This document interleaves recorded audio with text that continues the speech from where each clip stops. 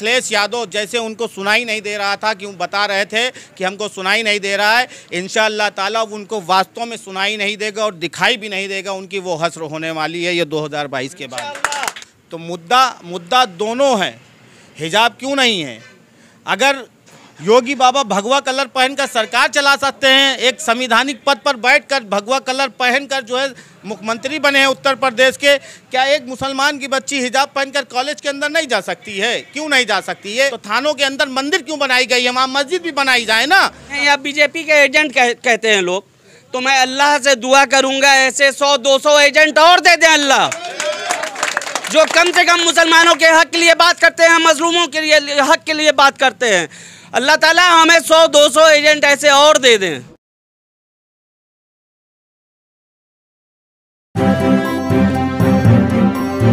Media voice आपकी आवाज़।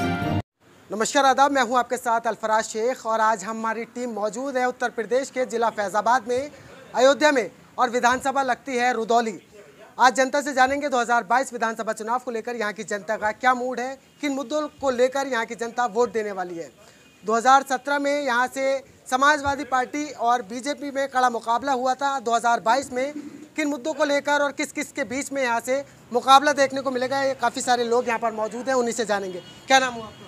मोहम्मद वसी वसी जी क्या लग रहा है 2022 का क्या माहौल? है इंशाल्लाह जो भी लड़केगा वो जीतेगा।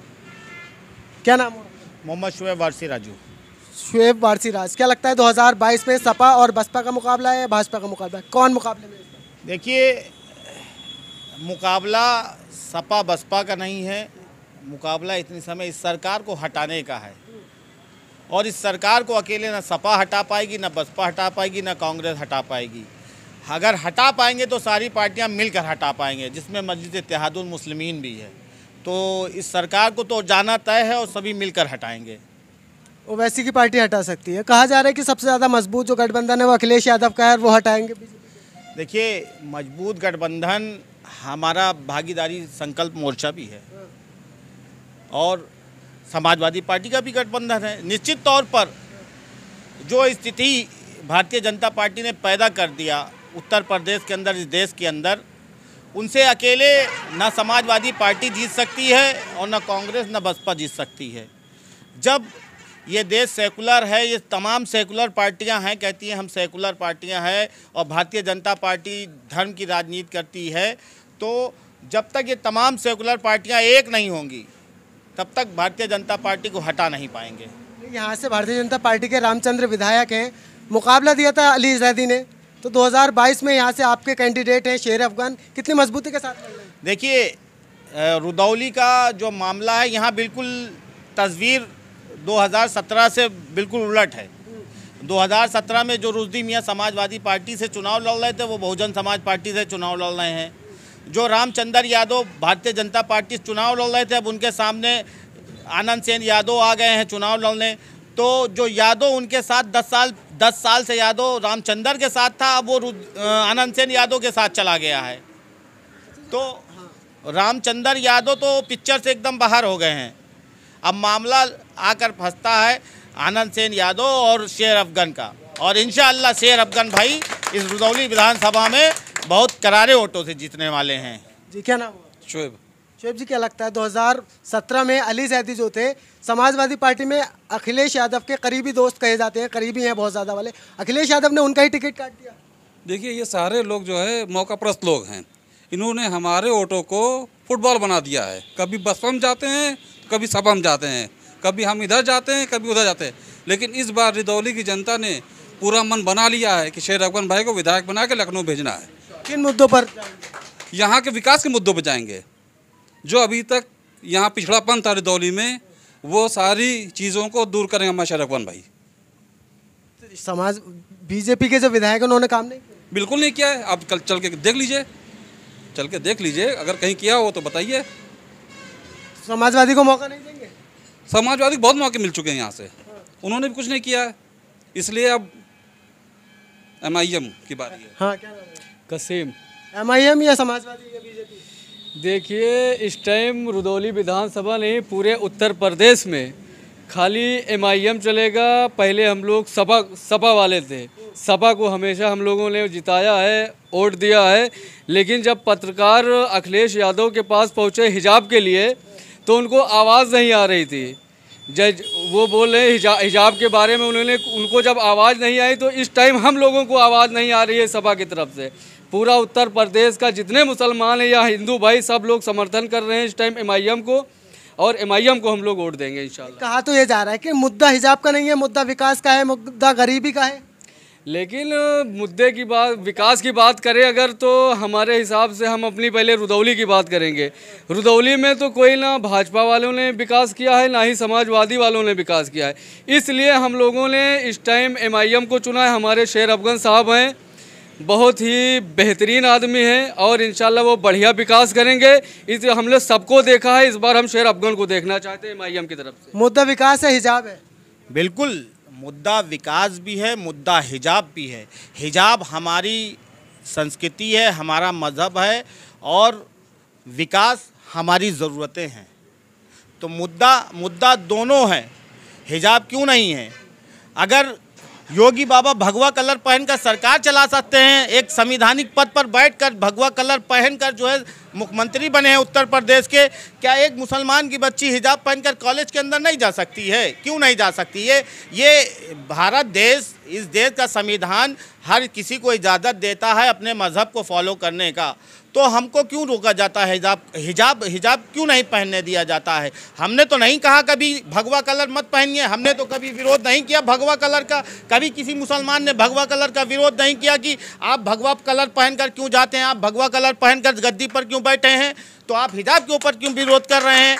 या मुसलमानों ने कभी ये नहीं कहा कि आप आप देख लीजिए इस देश के अंदर हिंदू मुसलमान सभी धर्म जात के लोग रहते हैं। लेकिन ये बताइए जब भी आप किसी सरकारी कर, सरकारी ऑफिसों में चले जाइए थाने में चले जाइए कोतवालियों में चले जाइए हर थाने के अंदर मंदिर बनी हुई है। मुसलमानों ने तो कभी विरोध नहीं किया कि थानों के अंदर मंदिर क्यों बनी है?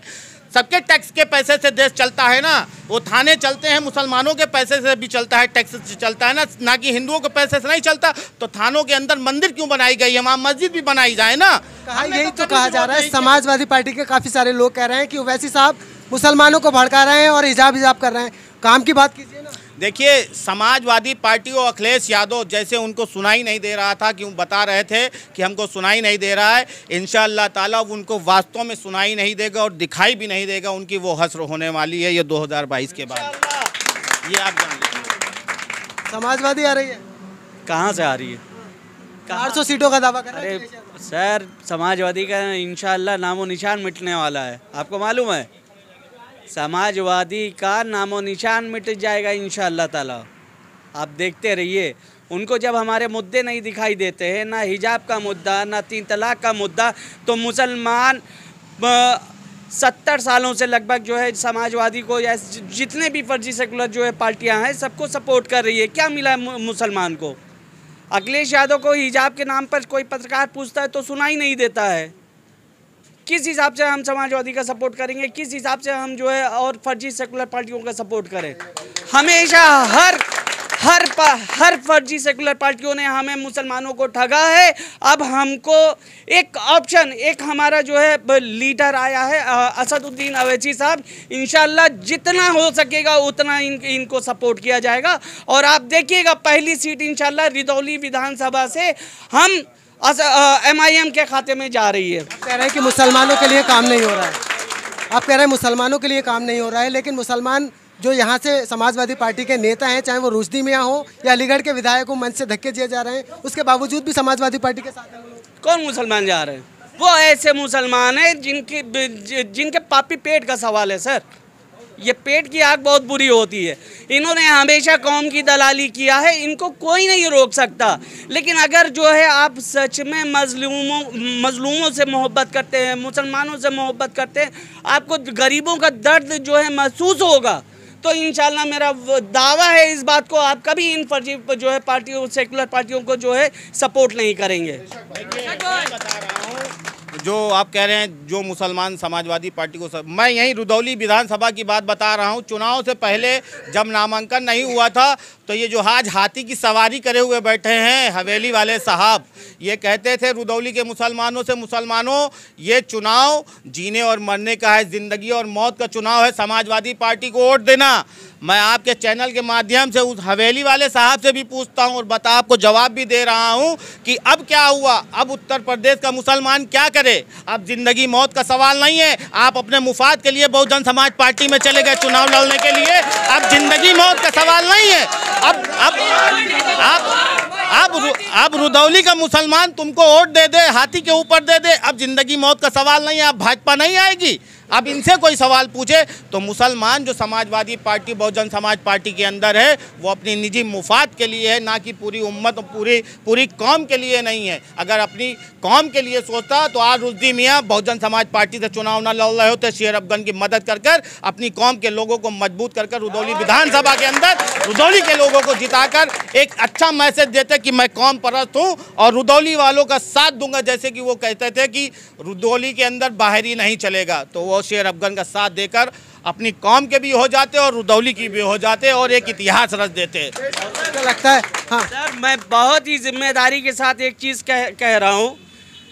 कोई भी इंसान हो चाहे वो हिंदू हो चाहे मुसलमान हो वो पब्लिक को दिखाने के लिए जो है माथे पे अगर टीका लगा ले कोई मुसलमान माथे पे टीका लगा ले या हिंदू मुसलमान को दिखाने के लिए सर पे टोपी लगा ले तो वो बहरूपिया हो सकता है वो हमारा नेता कभी नहीं हो सकता।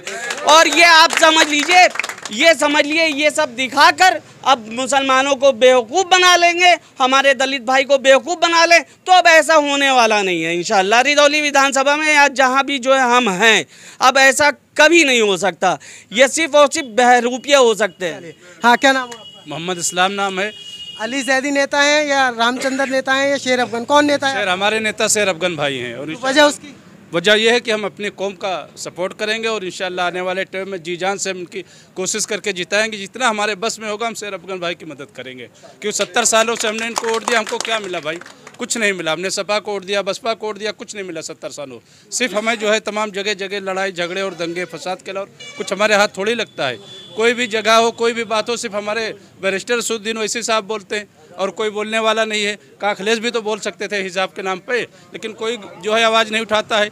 हर जगह आवाज़ जो है सर ये बैरिस्टर सुद्दीन वैसे साहब उठा दे तो हम क्यों ना उनकी सपोर्ट करें? तो लोग कहते हैं वोट काटने के लिए अरे कुछ नहीं भाई अब मुसलमान हम मुतहद हो चुका है। अल्हम्दुलिल्लाह अल्लाह का शुक्र है कि मीम की सपोर्ट कर रहा है और हमें आपके चैनल से हमारी ये अपील है लोगों की लोग सपोर्ट करें। और जो है वोट दें बस मैं इतना ही कहना सर चाहूँगा। मैं कह रहा हूँ अगर मान लीजिए अवैसी साहब वोट काटते हैं या बीजेपी के एजेंट कह, कहते हैं लोग तो मैं अल्लाह से दुआ करूँगा ऐसे सौ दो सौ एजेंट और दे दें अल्लाह। जो कम से कम मुसलमानों के हक के लिए बात करते हैं मजलूमों के लिए हक के लिए बात करते हैं अल्लाह ताला हमें सौ दो सौ एजेंट ऐसे और दे दें। तो ये रुदौली विधानसभा है यहाँ की जनता को हमने सुना आपने मुद्दे इन्होंने बताए हैं। लेकिन 2022 में रुदौली की जनता किसे अपना विधायक चुनेगी, ये तो आने वाला वक्त ही बताएगा। इस पूरी रिपोर्ट पर आपकी क्या कुछ राय बन रही है, हमें कमेंट करके ज़रूर बताइए। शुक्रिया।